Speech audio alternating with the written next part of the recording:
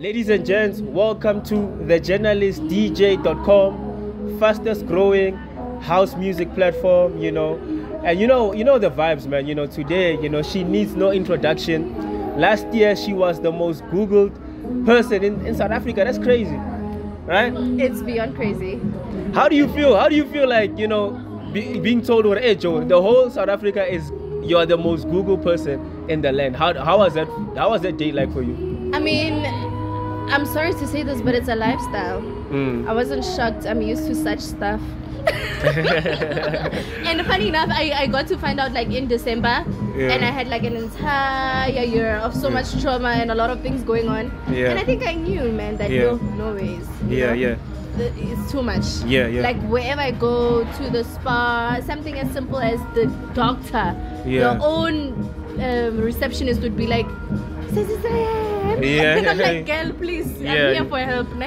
I can get it just so Yeah. I, yeah, I kind of like knew, but I am 100% grateful. I feel so blessed to be in a position that I am. Mm. It brings me a lot, um, and yeah, I feel I, I feel good that I'm hated on the social media, but in person I can feel the love. I can feel the screams. I can Yeah. feel everything, and I can see that you know what. Uh, hate is always a reflection of love. Mm, wow, man, that's that's very deep actually when you think about it. Uh, so you know, you're a DJ, and when you started DJing, it's like the entertainment industry just went crazy for some reason. Um, you know, you're a new era DJ. There's been a lot of stuff said about you. You you getting gigs. Tell me about you being a DJ and just how's that been like for you? Well, in the beginning, obviously, it was it was very very scary because obviously when you start somewhere, like it Yeah. comes with a lot of imperfections. Yeah. It comes with a lot of mistakes. But one thing about South Africans, they don't know that someone can grow. Yeah. You know, from from concrete, someone can grow from all all the noise, and they can actually build their crafts or like Yeah. sharpen their crafts so Yeah. it gets better. So where I am in life, I'm 100% confident to say I'm a professional DJ bitch, Yeah. and um, it start it didn't start there. Yeah. You know, it came with a lot of people laughing at me. All these videos of like me playing like. Going all over the net, and I realized that the only way to grow is being talked about. So. I got used to it. Here I am. Keep talking. I'll keep flexing. yeah and then did you um obviously when people criticize you you can you can grow did you like go for dj lessons after that and and improve your craft because you've improved what did you do No, no, no. Actually, I went for DJ lessons for six months before officially introducing myself as a DJ. ah, i see And yeah then obviously I think I was making mistakes because of the nervousness, the cameras. I'm not used Oh. to that. Oh, I'm used yeah. to just being an influencer that stays home, take pictures. Yeah. So now I'm in the crowd, the Yeah. public, I'm facing reality. So I got really scared because of that and I would like just make flops here and there, you Yeah, know, yeah, because yeah. of my anxiety or whatever. But now I'm very confident. I can even shake my ass in your face. You know and and I, the thing about djing is that you know you can know the skill but if you are nervous you can even the biggest guys make mistakes Even you know today, you know, Yeah. there's, there's a uh, DJ lady. Um, she's South African and she's well known. Yeah. I, was, I was listening to her like just two days ago. Yeah. She's been a DJ for almost 12 years and she still made a mistake. And I understood. You know, no one else in the crowd would understand. They are the first to judge because they have nothing else to do.